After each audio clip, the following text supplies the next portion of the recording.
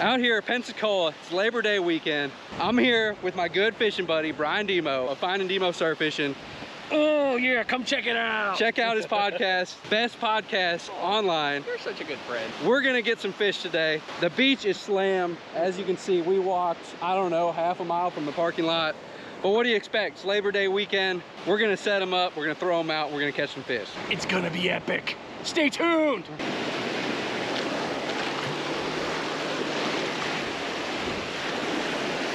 I found two. I'm half tempted to go over there and see if I can find some sand fleas. Go for it. I'll watch you run. What we got? That's your whiting. I can't even talk. I walk away and leave Brian alone to tend my rod so I can find sand fleas. And he catches a nice little whiting for me. He's a good dude. He's squirmy fish. Ah, you got me. He got me too. You all right? Yeah, all good. This guy's mean. We're gonna bring him home and cook him up. Yeah, you deserve to be a Yeah, taco. it's time.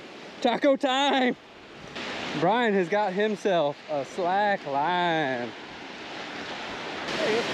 Oh, nice. It's a whiting? Good deal. Yep. That's a stud whiting too, man. Nice. On the Justin Reed rig. Yeah. Instant karma for pulling that fish in for me. Over there helping Brian do a video. My first rod goes off. Oh yeah, slack too. Come on, Pompano. Oh yeah, he's there. Whatever it is is there. He's flashing. It's running straight in. Jumping. Oh, it just looks like bait. Yep, two ladyfish. They ran straight in though. Couple ladies. A menage a trois, as some people might say. Brian's gonna use these for bait. Maybe live too. Maybe.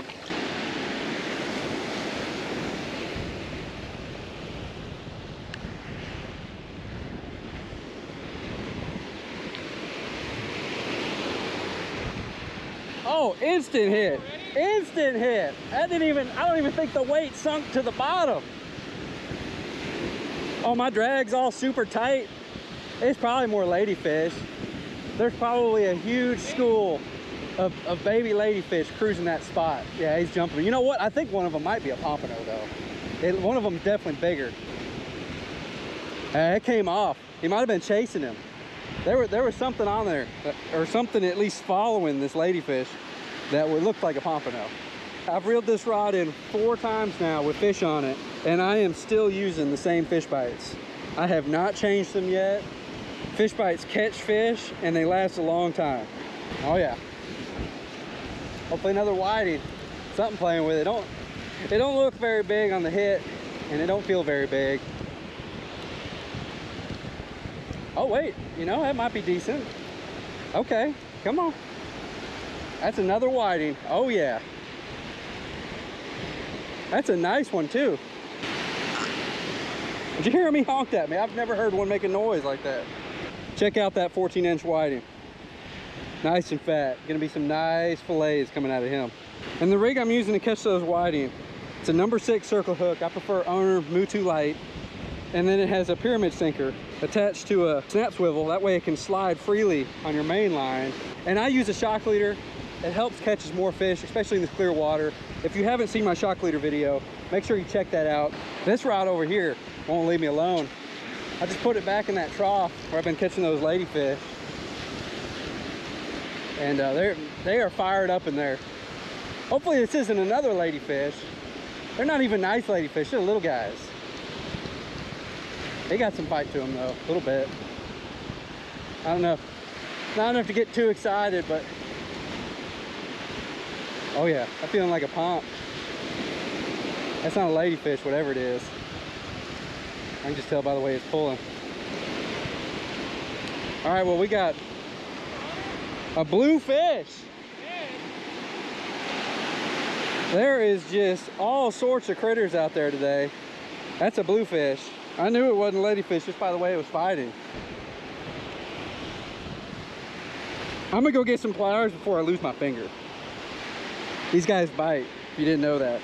I'm actually gonna measure this dude because I love bluefish. And if you haven't tried bluefish, you do yourself a favor and try some bluefish. He's at about 11. Get this guy back. But so far today, the whiting, they're being caught real close, right where these waves are starting to break. And the bluefish, they're out here in this darker water, right where it starts turning dark. And you can see where I'm casting. And honestly, that was far. I'm gonna bring it in, I'm gonna reel it in like two or three turns. That's where the whiting been chilling. They're so thick out there, I'm gonna grab this jig, throw it out a few times. Went earlier. Hey, end rod. Ah! You're right here. There, it, it's it's turning on. Brian's number four. His closest rod went off, and my furthest rod went off. So I'm running way down the beach, like I always do. Throw that in the cart, and that line is slack. I had this over the bar way out there. Oh man, I can't even talk. I am out of breath. There is definitely a fish on there though. And it's not even something worth running for.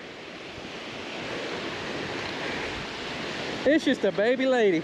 Some people get their workouts at the gym. I get my workout out here. Brian takes two steps away from his lure rod and catches a whiting, quality fish. I ran 200 yards to catch a baby ladyfish. Oh no! Let's see that whitey. Let's check him out. Yeah, Brian over here catching the 14 inchers. Oh, nice. Oh, delicious. Right there is delicious. You gonna do some ike jime? Right in the brain. Now he's dead. And that's the most humane way to kill a fish. Thank it you. might look mean, but it's not. It's really not. A lot better than letting it suffocate in your cooler, in your bucket. Been a minute since we had a hit. As you can tell from the change in the sun, this line went slack instantly. Come on, man. Hopefully it's a pop. He definitely ran in a good bit. This over the bar 12 is way out there. In the Navarre area. Oh yeah, that's feeling poppy. That's feeling poppy. He's moving, swimming to the right. Good head shakes. Okay, he's just a bluefish. Blue runner, I mean, my bad. Just a hardtail. I think this is the fourth species we've caught today, though. There's just a lot of activity out here today. I didn't even get to sit back down. That was a good pull on it, too. I mean, I just casted it back out, no joke. Walking over to Brian, turned my camera off, and basically turned it right back on. I don't know if it's still there. Oh, wait, there he is. There he is. All right. What we got here? Hopefully not another blue runner. He's taking, for, taking me for a walk going the other way. Decent head shakes. What is that? What is that? Is that a remora? Yeah. yeah, that's number five on the species list. Nice size remora. This dude fought. He pulled that thing, man. I got excited.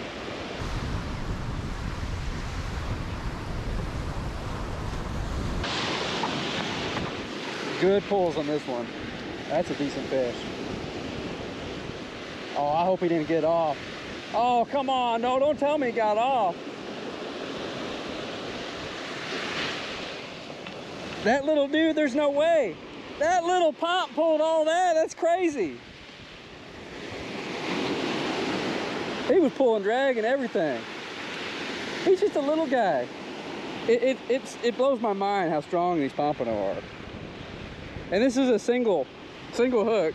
It's just a, my fish finder rig. There's no way there was two on there. Awesome little fish though. Get this dude back.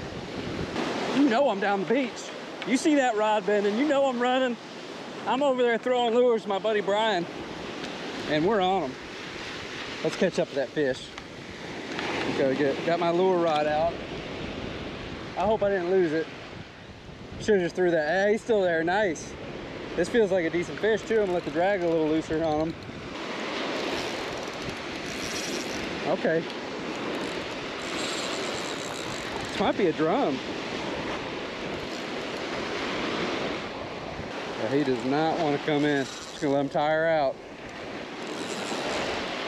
It's kind of dark out, so I can't really see what's going on yet.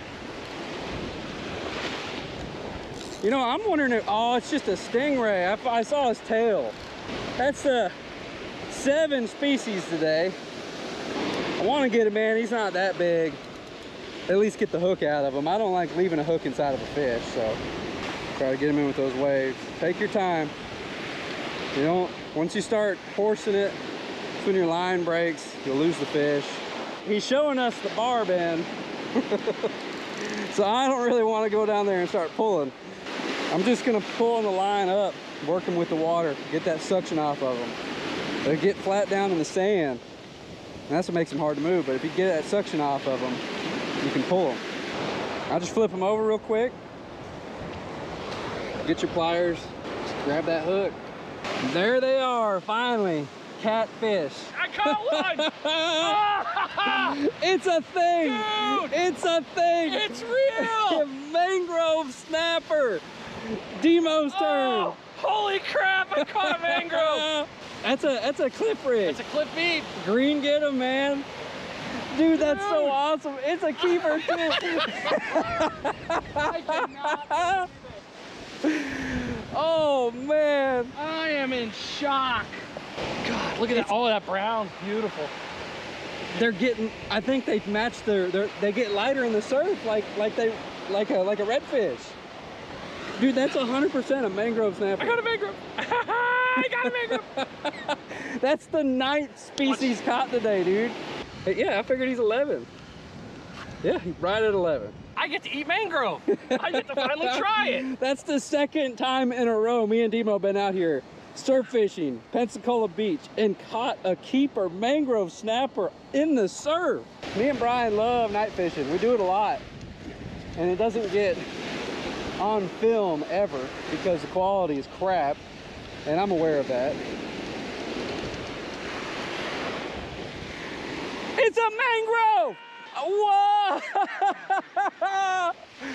no way! On a Pompano rig! That's a good one. I don't know, man. He's gonna be close.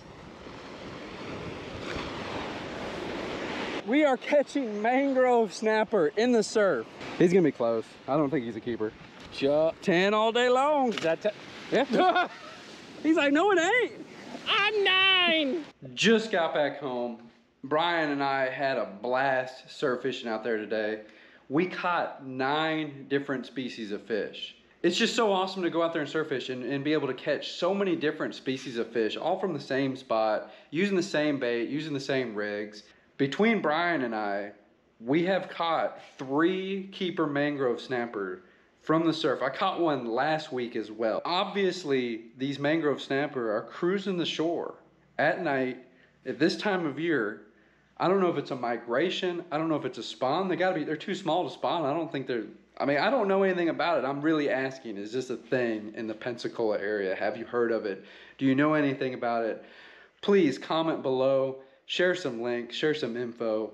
It'd be so cool if we could go out there at night and and target these every year around September. I've I've never heard of this. I haven't seen people post about it in the Pensacola area. I haven't seen people post about it really anywhere around here about catching mangrove snapper from the surf. Correct me if I'm wrong. Please tell me in the comments. I don't know. I've never heard of it. It, it still blows my mind. Brian was pumped up. He was excited. Like I'm, I'm so happy for Brian. He got that mangrove snapper. He, he, he was lost for words. It was almost like watching me do it last week because he just, he, he just couldn't believe it. Also, be sure to check out Brian's podcast. It's called Finding Demo Surf Fishing Podcast. He has the best podcast for surf fishing around. You'll learn lots of stuff from it. He's got awesome guests every week. He's dropping an episode every Friday at like 6 a.m. Listen on, listen to it on your way to work. Listen to it while you're working. Just listen to it. You're gonna learn a ton of things. It's a great podcast. He's a great dude. Anyways, great day. Nine different species of fish from the surf. Me and Brian had a blast. If you enjoyed the video, please like, subscribe, comment, and until next time, take care and tight lines.